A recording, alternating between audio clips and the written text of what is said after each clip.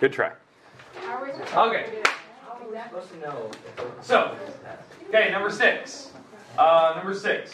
Uh, we have to find the zeros for this polynomial, give the multiplicity of each. So that means, is it going to bounce off of it? Is it going to pass through it? And then figure out, does it, if it actually does cross the, uh, the x-axis or, uh, or turns around there, you have to state that for each of those. So you can't just know it by the multiplicity. You have to tell me, you have to actually write that down. So this problem will require that you need to factor it. You have to factor this problem. So when you first look at it, what's the first thing you should do? Yeah, take out an x. So we're going to take out the common factor, right? So we take out an x of each of the items, and here you go. Okay. So there's that. So far so good. Now the parenthesis, this tr uh, trinomial can go further. Go one more step.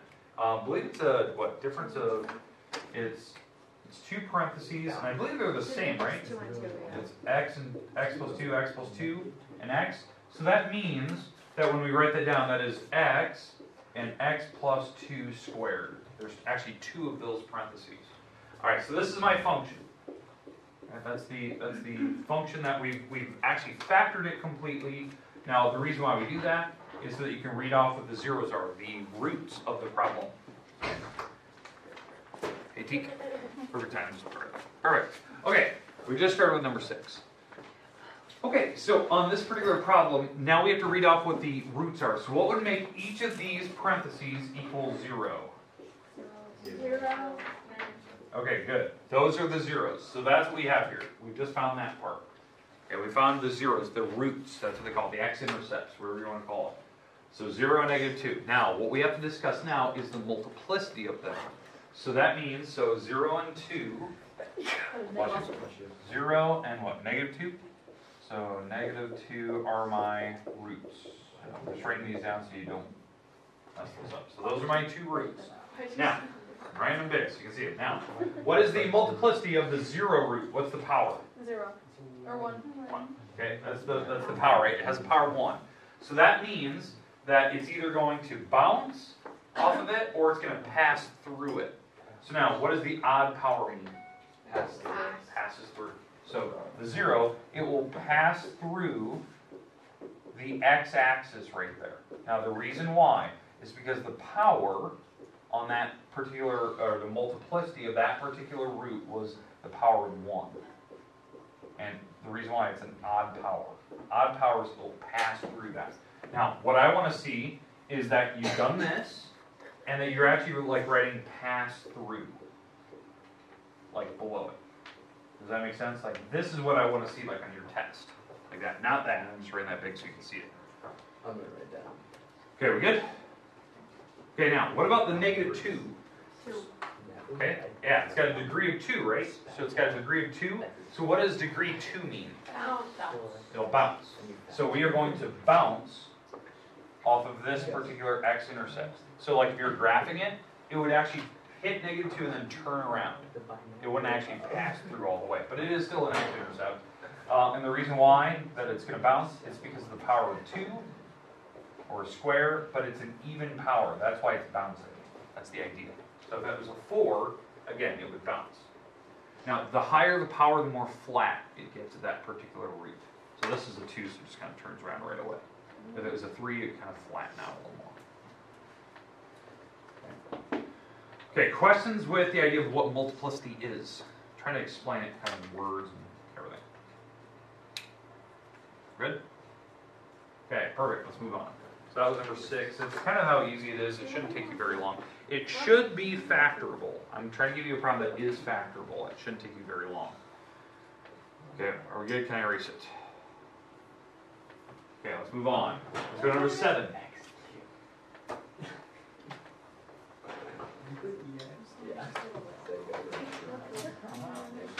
Okay, number seven. You have to long divide. So, on number seven, yes, you have to show me you can long divide this problem. You have to be able to long divide it. Okay? Um, so, on this particular case, when you long divide, there's a certain part that goes in the house, certain part that doesn't. I believe we did one of these problems in class one day, so this is kind of a nice review of it. So, what part is going in the house? The second part. Which part? The little part. Which part? The The three x squared plus one. Out. That's going outside. That's outside. I thought we were talking about the outside. No, he said It said which inside. part goes in the house. Oh, house has. Thanks for paying attention. Alright.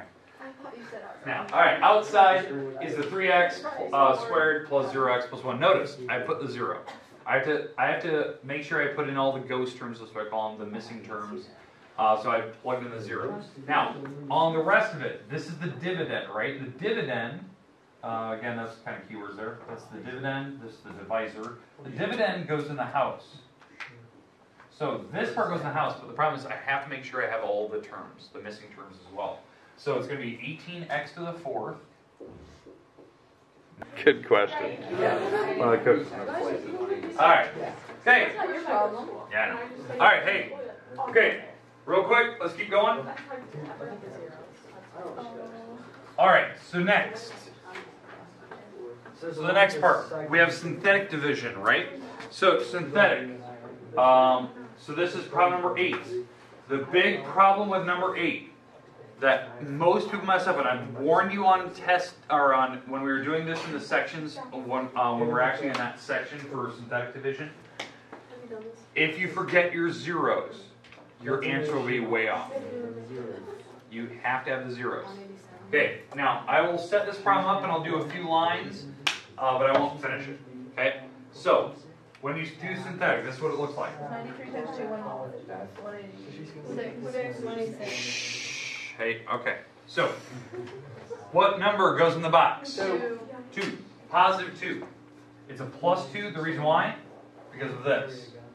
I will not give you a complicated one. You just have to know that the, the actual divisor number, the root of that, actually goes in the house. Now, going across the top, what are the numbers across the top? Two, six. Zero. Zero, Oh, negative zero. two, four, two. three, one.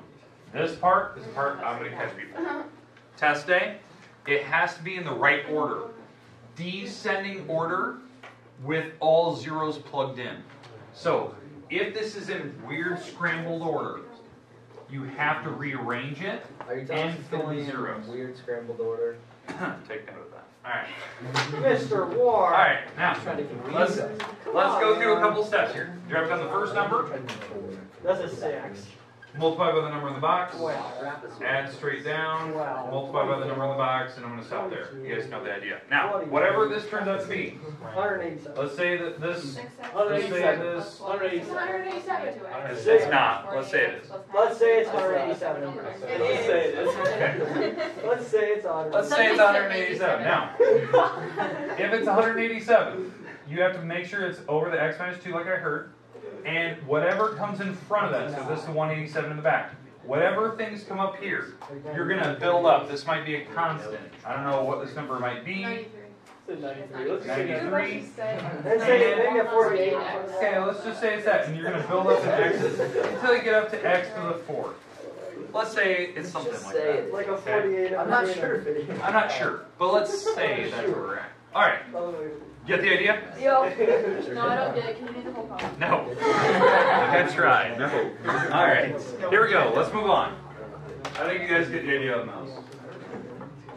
It makes us feel like the whole test is those problems. No. Yeah, that would be good.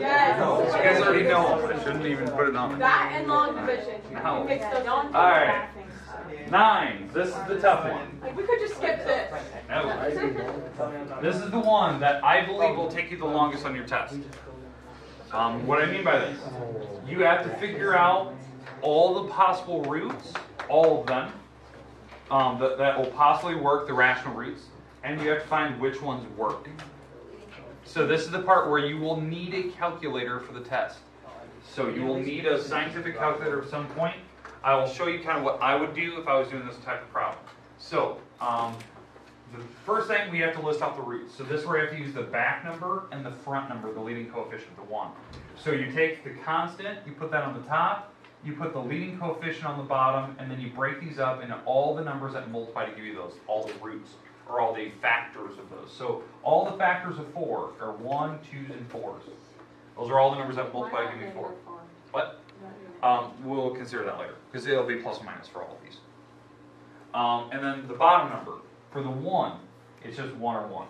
right? Now, like Macy was saying, like why not positive negative? Well, we're gonna have that because we have to set up every possible combination, putting the constant on the top and the, the leading coefficient on the bottom when you have all those factors. So really, on this particular problem, it's gonna be one over one, two over one, and four over one. So these are my possible roots. These are the possibilities. These are the possible roots for this problem. Now we have to check which ones work. So you have to find that that possible um, checklist. Okay. So how I how I would do this? I would start with the smaller numbers first because I think they're easiest. And once you find them, you have to find the remaining roots. So you're going to reduce this thing down. So I'm going to start with like the number one or negative one. It really doesn't matter. Um, I'm going to start with that one first, and here's how I do it. It's called synthetic, di- uh, synthetic division or synthetic substitution. I'm going to take my problem, and I'm going to start with the positive one first and plug it in. Because why I'm doing this, if I plug in a one, it actually gives me zero. That's a root. So She doesn't got anything. She has it. She one Does third, Or you have. One You don't got squared. one. Okay. Hey, Yeah. Okay. So. I plugged in the one. You get one minus two minus seven minus four. Definitely not.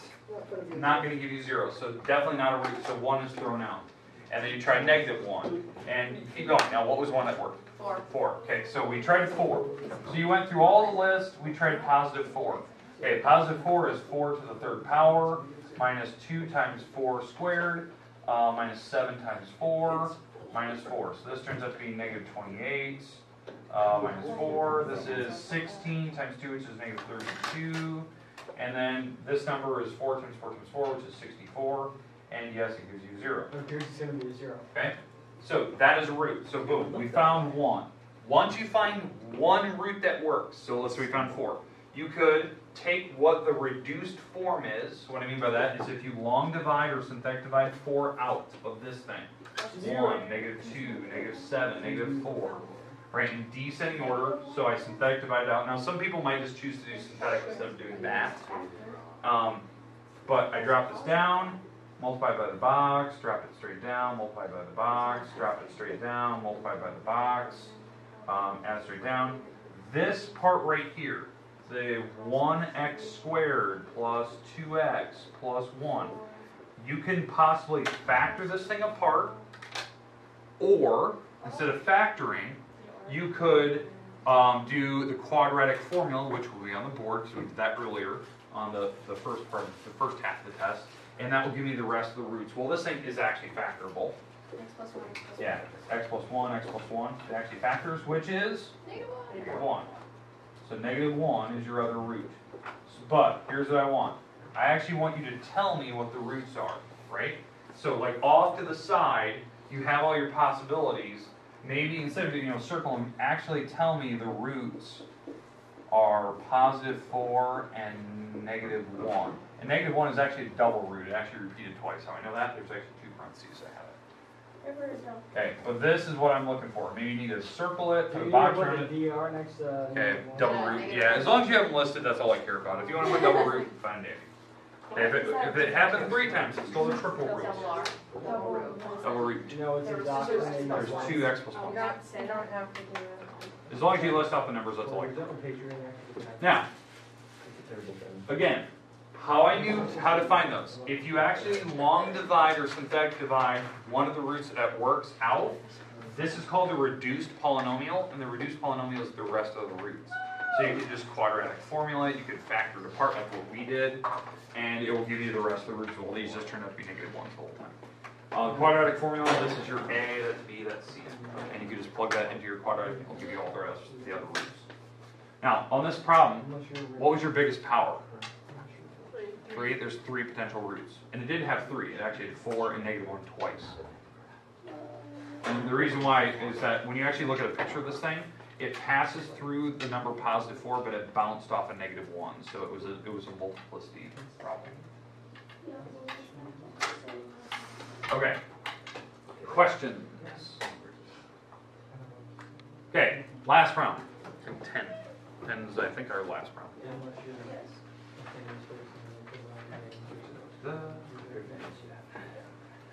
Now, hey, here's something I didn't require it on the test or on on this thing.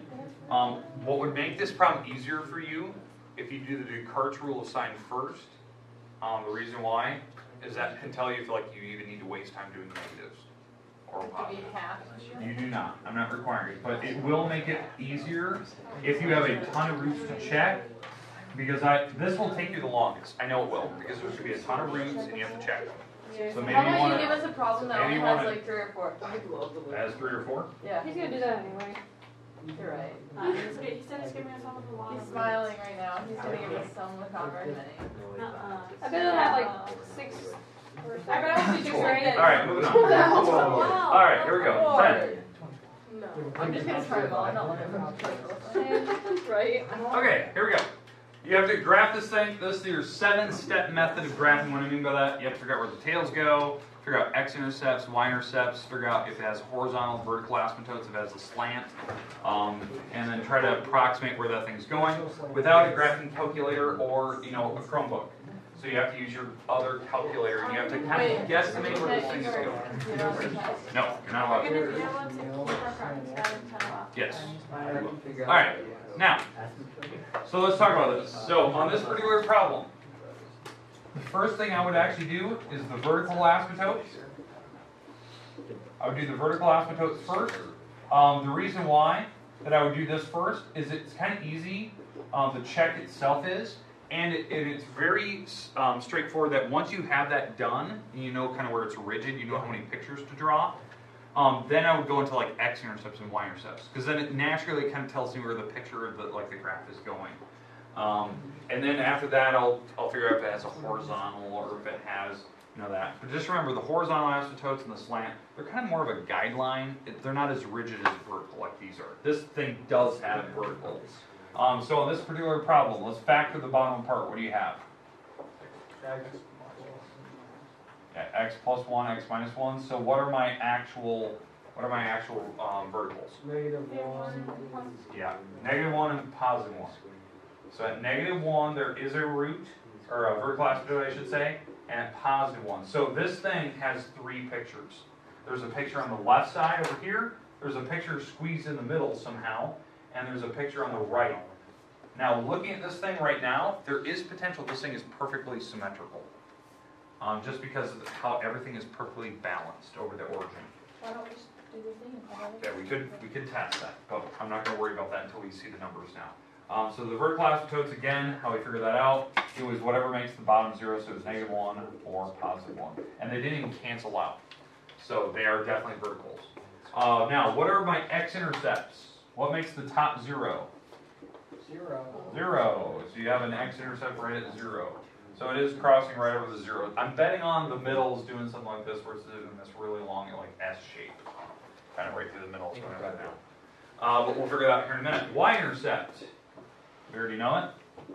Zero. Zero. Now, how I know that? If you plug in zeros to everything, to like this original problem, you'll figure out what the y-intercept is. It's not just what makes the top zero. No, it's not just what makes the top zero. It's actually plugging zero into this problem like this. That's how I get the y-intercept of being zero. Okay? Now, horizontal. Is the top power smaller than the bottom? Yeah, the top power is a one, right? Top degree is a one. The bottom degree is two. So it does have a horizontal kind of a guideline. Um, it does have a horizontal asymptote at zero. Now you're thinking, Ward, you just told me it went through zero. Yeah, because horizontal is a guideline. It's not as rigid as a vertical. That means that um, what I'm betting on is that the tails on the outside of this picture tug against that. So like the tails, like if I'm over here, the tail will probably come down and hug up against it, or it'll come up this direction. So this thing might actually look symmetrical. Okay.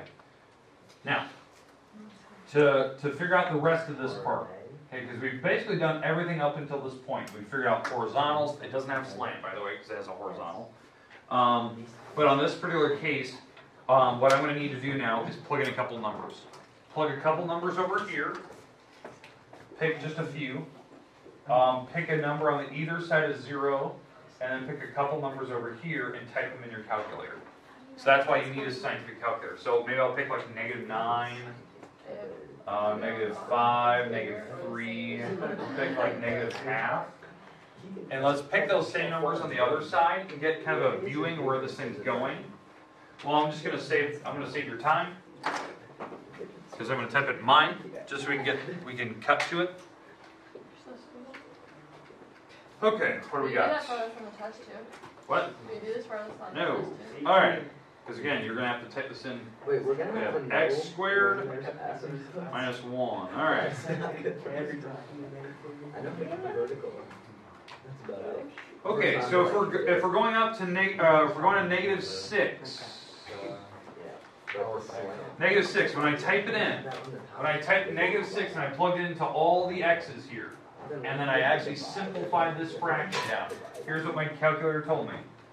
Again, when I plugged in negative six, it told me, um, I don't know why I just wrote it like that. Alright, so I plugged in negative six into the x, the y number that was spit out was negative point six eight three. Actually, it's six eight five. Six eight five. So we're Alright, live. now, uh, negative, what are we plugging in? Negative five. Um, uh, so I plugged in negative five, was that point, negative point eight three three? So it looks like it's, it's getting like, it's going down a little bit. Negative five, negative six. Um, Just skip to negative three. uh, negative three.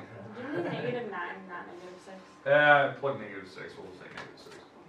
I'm a dork, just go with it. Um, negative three, Wait, yeah, did, did you guys negative get one anything point for five. negative six? Um, what do we, what was the next number we plugged in? Negative half. Uh, negative half. Seven.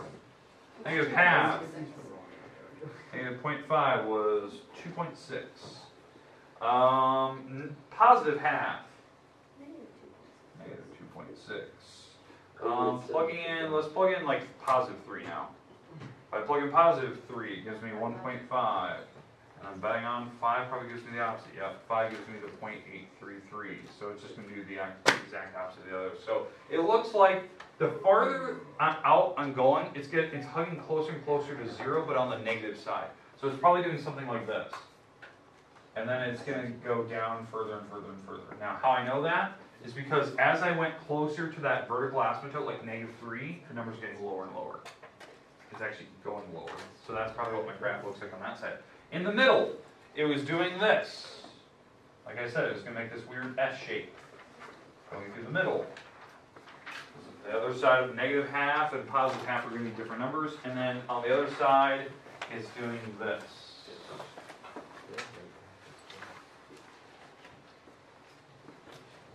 There you go, there's your graph. That's how, that's exactly what I expect, and that's the type of stuff I wanna see off to the side. Even this little table helps me out. Do you out. want us to hit actual points, or do you just want us to sketch the graph? Sketch a rough, rough drawing. How do you know what a the middle's rough gonna do? sketch. The So middle? that's just to get a. Um, uh, because when I plugged in a couple numbers here in the middle, that one was positive, one was negative, so it was going the opposite. So yeah, if you don't know the middle ground, because the middle ground is always the weird sketchy part, plug in a couple numbers in there. Like instead of negative half, you go negative point three, 0.75. I don't try a different. Negative 0.9999. There you go. Plug up right against it, see what it does. Yeah.